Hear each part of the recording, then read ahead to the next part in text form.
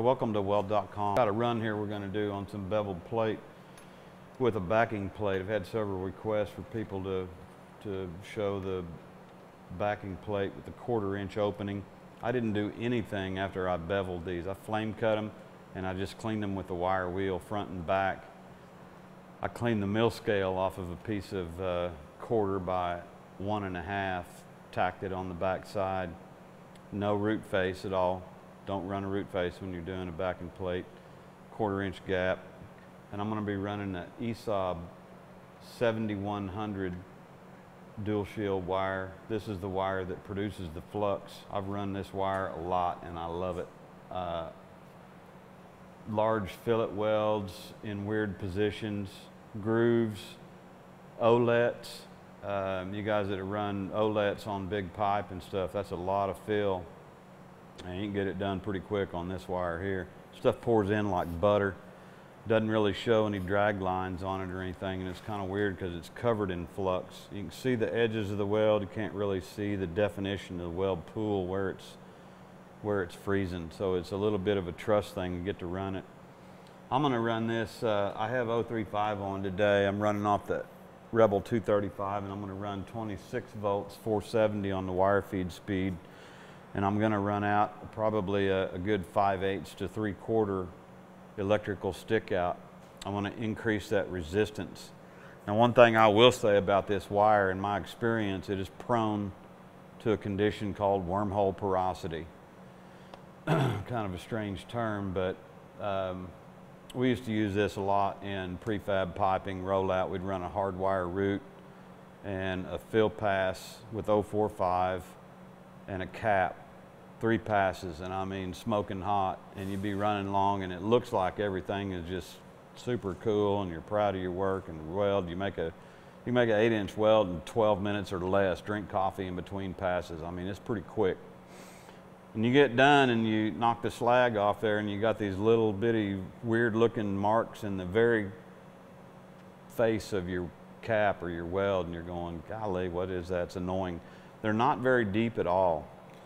And it's called, it's called wormhole porosity. It's, you can do an, an, a value change, you can increase a volt. I've gotten rid of it a lot of times by the electrical stick out. So that's what I'm going to try today and hopefully it'll work. I don't, I don't want to leave it behind. If it happens, cool. Uh, the times that it has been left behind on some of our piping work, uh, we go in with a light grinder sander and just touch them. Again, they're not very deep, but I've ground into them a little bit and bead brushed them. We x-ray the welds. It hadn't been a problem. The inspectors had looked at it and they said, "Yeah, we know what it is and it's fine. It's, it's really, really, it's, you know, a 32nd of an inch deep. Now, if it gets porosity and stuff, grind that out for sure. So anyway, I'm gonna get a hood on. Little uh, shout out to Plymovent. They're gonna keep all the smoke away from me. This is a fairly smoky process. And uh, Steiner gloves. I'm gonna I'm gonna try out some new Mega Mig gloves here. So let me get my stuff on. I'll be right back.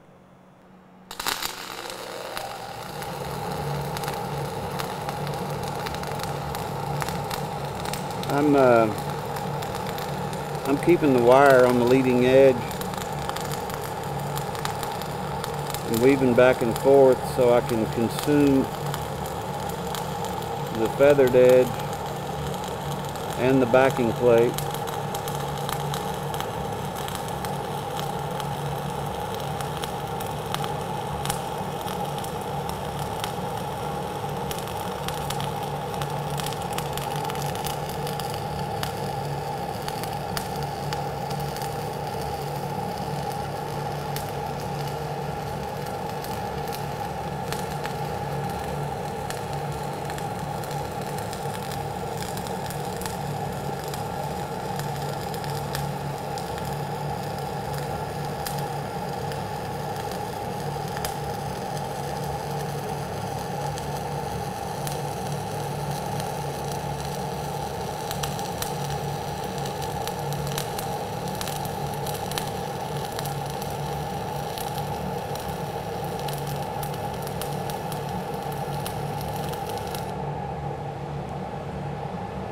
Not going to beat that up.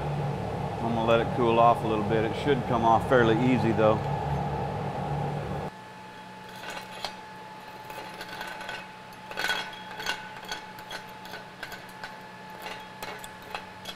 That wormhole porosity condition I was talking about is right there and right there.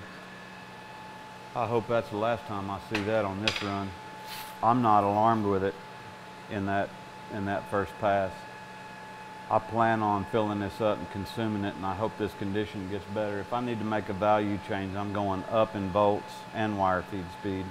I noticed that was kind of popping and shaking at the end of the wire. I like to run this stuff where it's just a smooth sizzle. And this roll of wire has been out in the shop on a machine for a, a, couple of months now. The students are running it toward the end on some procedures. They did a lot of horizontal plate and they did some piping runs with it. So it's probably absorbed some moisture, my bad. Anyway, I'm gonna let this cool for just a second. We're gonna come back and run a field pass.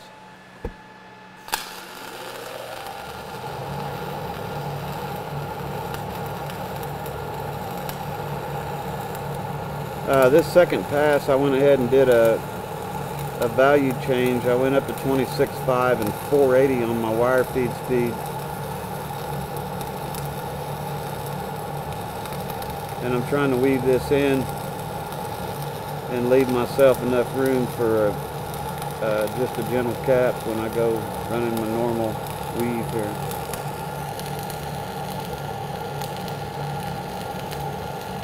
That camera guy, what's the amperage? 150. What? 150. That's not high enough.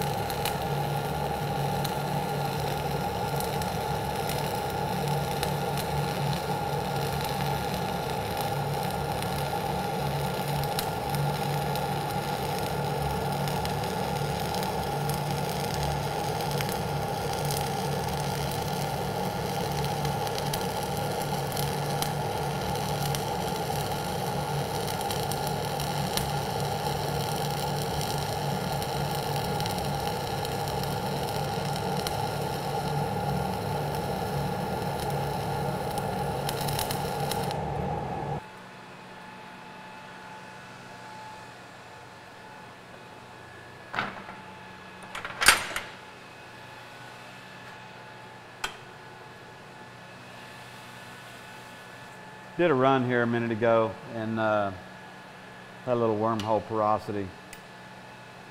Wasn't really confident with what was getting ready to happen here, so I uh,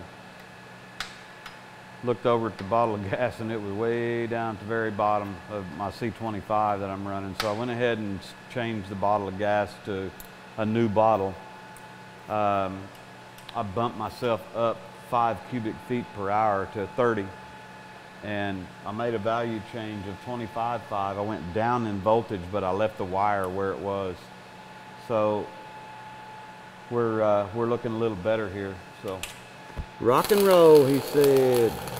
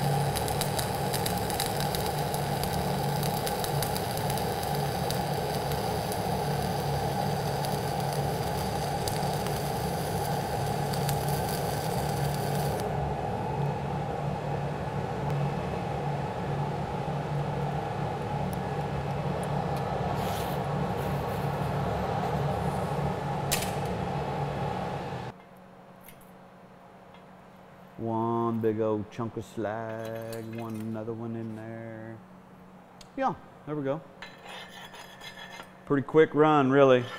I mean, I realize it took a little bit for the camera stuff because we're adjusting, but if I was doing this in a, in production on piping and stuff, you can get in and get concentrated and I mean, you got to watch your overall heat input again, but when you're pulling the trigger, it's it's laying some material down pretty quick. So, anyway, uh, pretty impressive stuff. I've used it a lot, a long time ago, and I, I teach with it. I teach a lot of different flux core wires, but again, um, we had a viewer response. Can you do the backing backing strip and the uh, flux core? So uh, we do a lot of this on um, half, three quarter inch plate with 045 wire and bigger, and we run multiple stringer beads. We, we, we do it a lot of different positions and everything. So, hey, I hope this helps and answers the viewer uh, questions and stuff. Thanks for watching weld.com. Please subscribe to the videos. Appreciate it. Thank you.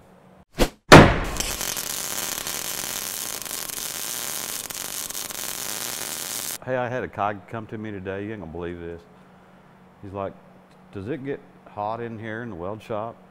And I'm like, "Yes, sir."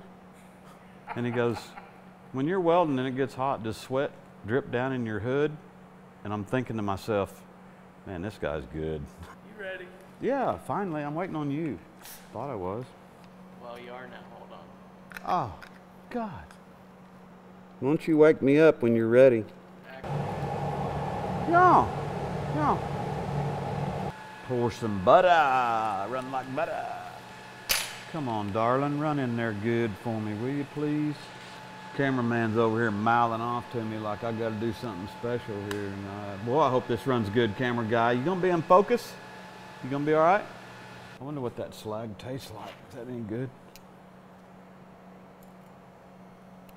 I better not do that. I might burn my lip.